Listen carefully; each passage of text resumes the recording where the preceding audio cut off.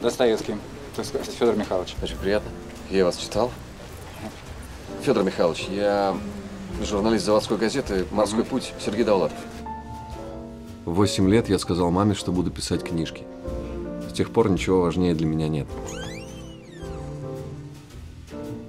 Я хочу вступить в союз писателей. Это нужно для публикаций. Посылаю рассказы во все литературные журналы.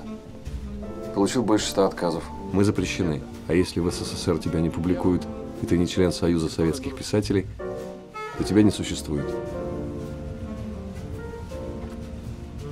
Мне Брежнев снился, обещал помочь. Как вы думаете, вводить войска в Пакистан?